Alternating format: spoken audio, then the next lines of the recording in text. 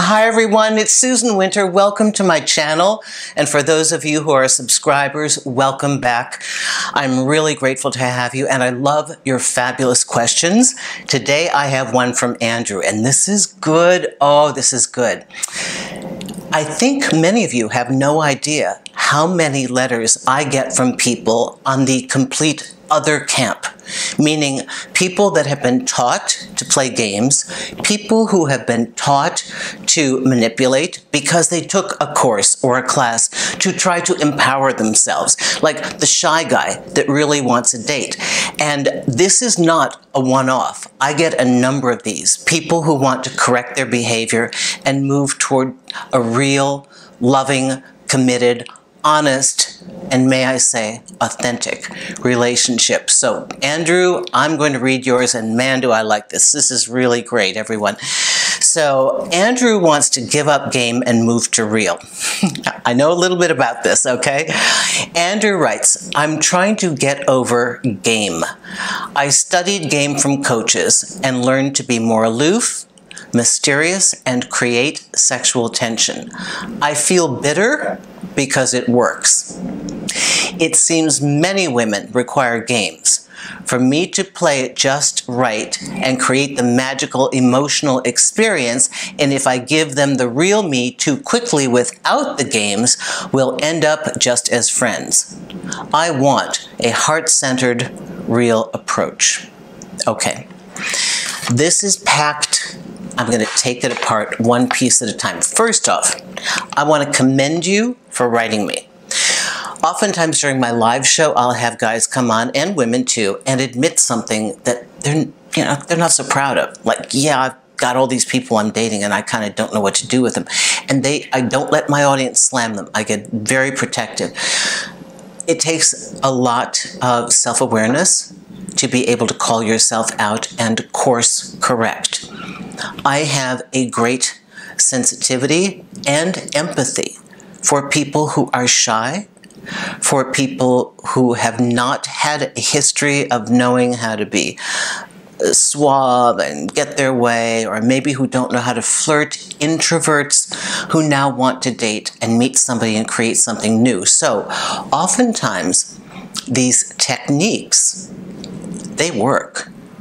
And a lot of why the pickup artists and guys like that work is because it's based on what's real. Remember, game is what real would look like from an empowered person who's confident.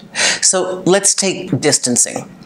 An empowered person who's confident is focused more on their own life, right? And so they'd like to be with you and they'll make a few attempts to show you, but they're not going to chase you. Not because you're not worth it, but they're chasing their life. So this is why even the conversational skills that are taught in some of the pickup artists, they teach, uh, whether it's men or women, there's schools for women too, to be conversational, to at least have a skill set to start a banter. In some cases, in some of the other communities, um, it's to, to neg a woman and do things like that to provoke her simply to kind of stir up and unwind a woman that thinks she's all that, kind of knock her off the pedestal so that she'll get real with you. But the bottom line from all these techniques, while to some degree the methodology works, and I agree with you, it can work, it brings about only a very specific outcome. If you do game and you're a guy, You'll probably get good at the skills of approach, which you need anyway. So that's great. You can keep that. You don't have to throw the baby out with the bathwater. But if you want an authentic relationship and you want to be yourself at some point, you have to get past the distancing, the, the, the putting down, the minimalizing a woman and, and treating her as though she's just a sexual object, which many of these teach you to do because with that kind of game, you will get sex. So this initially sounds great to people like, oh wow, I'll get a partner. But what happens is you've got some very good people who've been led astray. And they want a partner, it's that they didn't know the approach. They maybe didn't know the clothes, they didn't know where to go, and they didn't know what to say.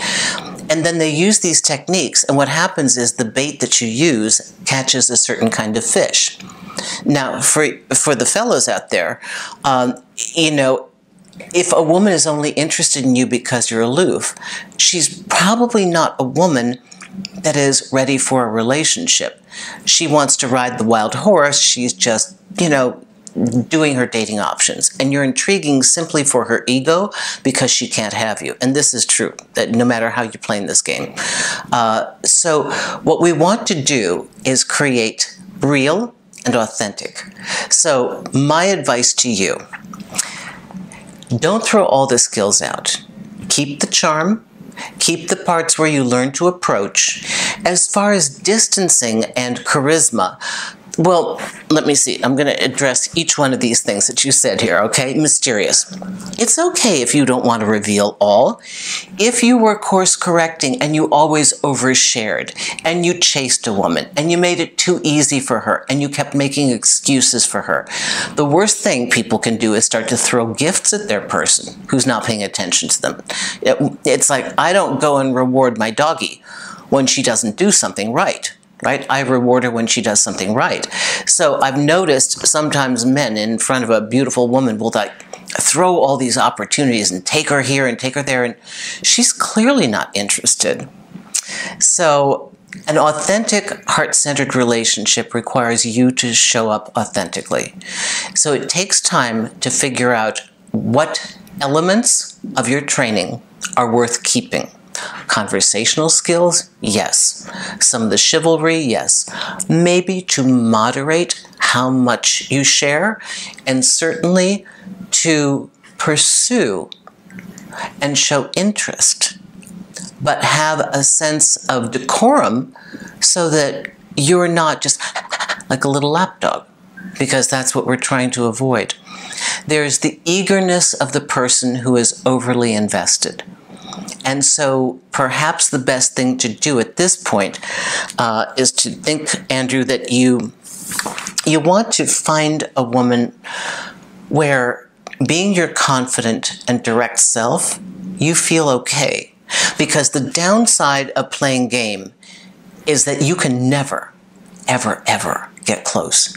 You can never, ever, ever let down your guard because I've had guys that have come to me from other schools and from other training and like been embedded in it. And yes, they got the girl. Then they made the mistake of being themselves. They made the mistake of pillow talk or opening up or wanting to show their affection. Now they're blockaded because that girl doesn't understand what that is. And then she lost interest. So what?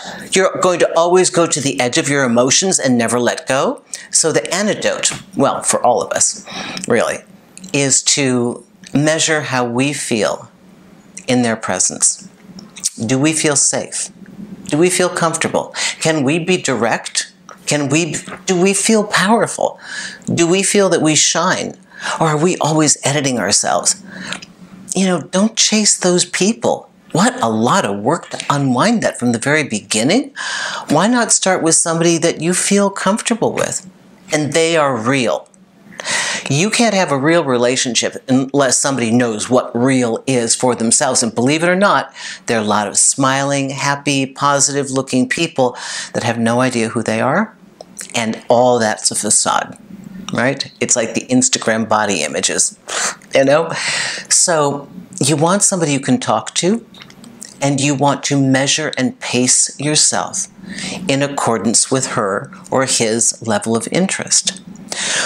If we are unclear and we come to that very uncomfortable moment where there's been uh, kind of a pullback or we're not sure, the best thing to do is take a pause, Look at everything you've seen. Did I ignore red flags? Do I need to see something? Make your own assessment. Get very clear on what it is that you need to talk about. And then articulate it in two sentences in a simple text if you can. Hey, you know, um, like to see you. I know you've not been available, whatever. You know, what's going on? Or whatever you need to say, but think and don't chase. You give them an opportunity if they decline, if they start to have irregular correspondence, we all know what to do. We give them one shot, then we step back. Okay, because you don't want to be in a cycle of hot and cold. And I do know it's tempting. I know a lot of guys from Pickup Artist. I've actually unwittingly given one of the original guys, tons of psychological mm. information about women. And if you know my videos, you've heard this before.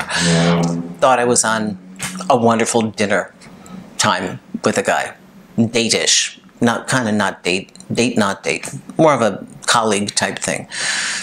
And I was unloading how to take apart a woman, you know? Obviously, he had more material than me.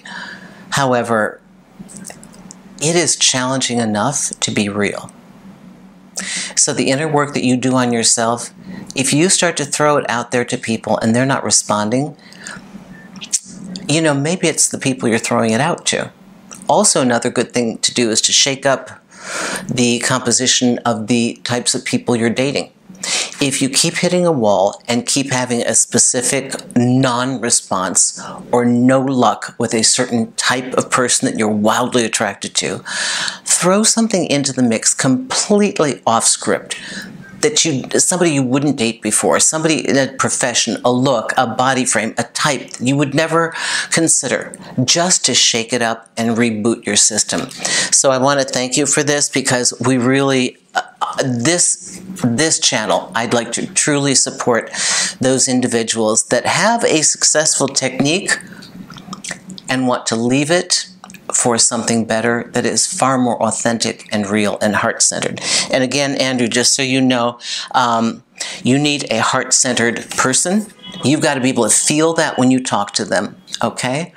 So thank you so much. And um, everyone, Susan Winter from susanwinter.net. If you want a personal consultation, check out the different packages. You can find Breakup Triage, Cure to Heartache, and Allowing Magnificence on Amazon. Sign up for my newsletter, and please subscribe. And if you like what you see, please refer me to your friends. Thanks a lot. Bye-bye now.